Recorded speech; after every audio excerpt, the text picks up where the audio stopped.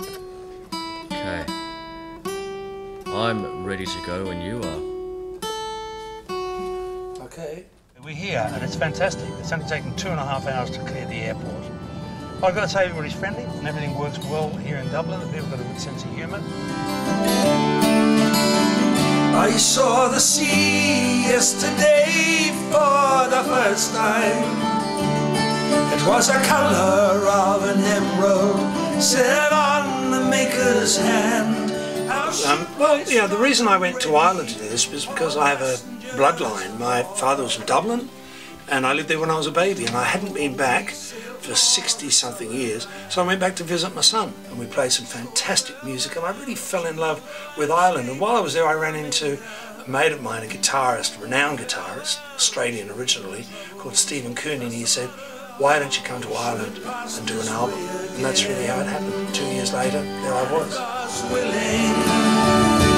Under clear skies we'll sail, a fair wind will drive us, good fortune will prevail, and if God's sort of Irish Australian stories, I think. I mean, a lot of Irish, a lot of Australians, I should say, claim Irish heritage.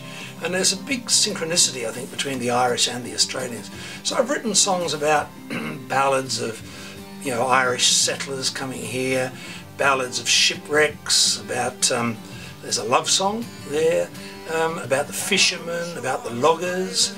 Uh, it's all really a mixture. It's a bit of a mixture of Irish Australian stories. Hence, it's called the Irish Australian story.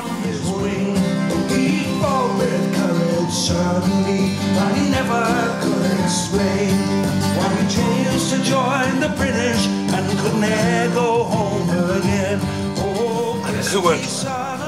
Well, when you know someone like Steve Cooney, who's very persuasive, um, I managed to get some of the best musicians in Ireland, including people like Martin Hayes, um, Dermot Byrne, uh, just look wonderful, wonderful players. Um, we haven't got a, one of the guys from Hothouse Flowers to play on it. I mean, it really is a mixture um, of wonderful, wonderful Irish musicians. Life is cool and luck plays not a part.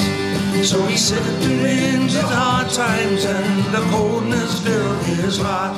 Oh, when I came back, really all I had was the raw tapes, and there was a lot of work to do. So my brother Doug Brady is a very good producer, a very good recording engineer. So we took what Steve Cooney and I had recorded, and we post-produced it. I redid some of the guitars. I certainly did most of the vocals here, although we did use some of the Irish vocals. But we communicated by Skype and all the modern technology, so we sort of shared and exchanged ideas. Steve remained as the producer. We spoke every night sometimes at ungodly hours for him because over in uh, uh, Rostrevor where he lives it was sometimes five or six in the morning but I don't think he goes to bed before then.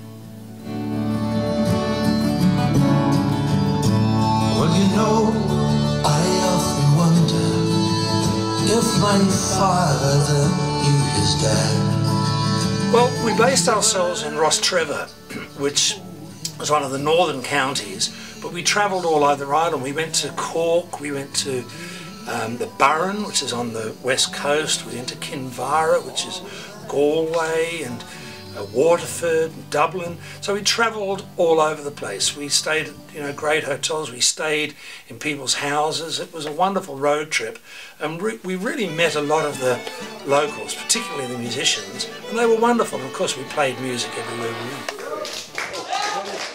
I've never known a country that has greater or more music, where music is more important. Ireland, everybody has to go there in their lifetime, particularly if you've got a song in it. And if God's willing, we will find